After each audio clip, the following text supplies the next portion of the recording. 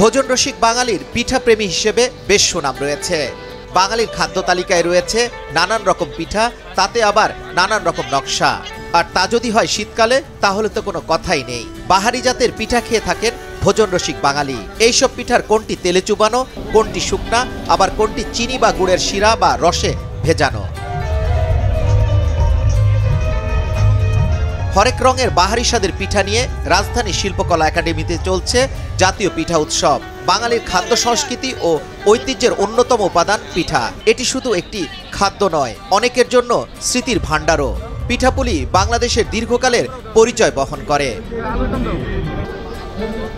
কিন্তু সময়ের সঙ্গে জীবনযাত্রা বদলে যাওয়া ও নাগরিক ব্যস্ততায় পিঠার সেই পুরনো দিন যেন আর নেই।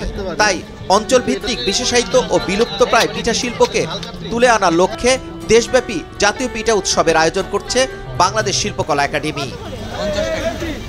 আর এই উৎসবে আসা পিঠাপ্রেমীরা বলছেন উৎসব পার্বণে পিঠা একটি অনিবার্য উপাদান হিসেবে আমাদের সংস্কৃতির অংশ হয়ে রয়েছে। বিচিত্র সব পিঠা তৈরি হতো গ্রাম বাংলায় এবং এখনও হয়।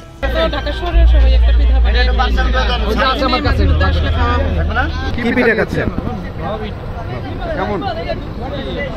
এই যে যে পিঠা খাচ্ছেন এটা কি পিঠা? কেমন লাগছে?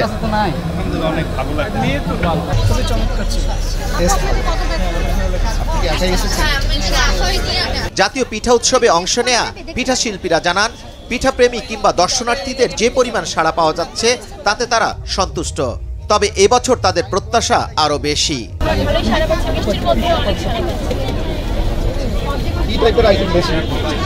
আমাদের সব টাইপের আইটেম মানে এটা একটু বেশি।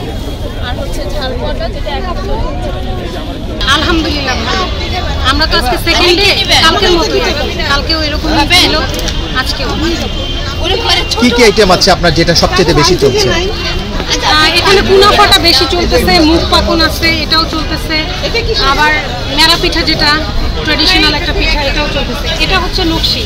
এটা হচ্ছে সব ধরনের ডাল দিয়ে তৈরি।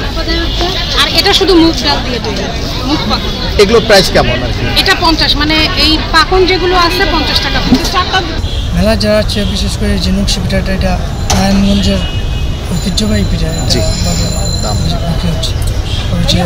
কুলি পিঠাটা মোটামুটি সবই আমাদের চিটাগাঙ্গে আগে ঐতিহ্যবাহী পিঠা আছে যেমন সাইনা পিঠা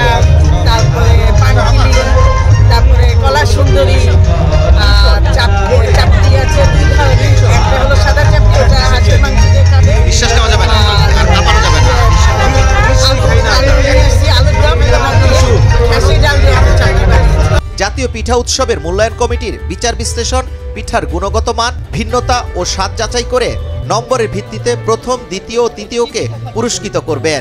এছাড়া অংশগ্রহণকারী সবাইকে বাংলাদেশ শিল্পকলা একাডেমির সনদ প্রদান করা হবে। রাজধানীর সেগুনবাগিচা শিল্পকলা একাডেমিতে এই উৎসব চলবে দশ ফেব্রুয়ারি পর্যন্ত।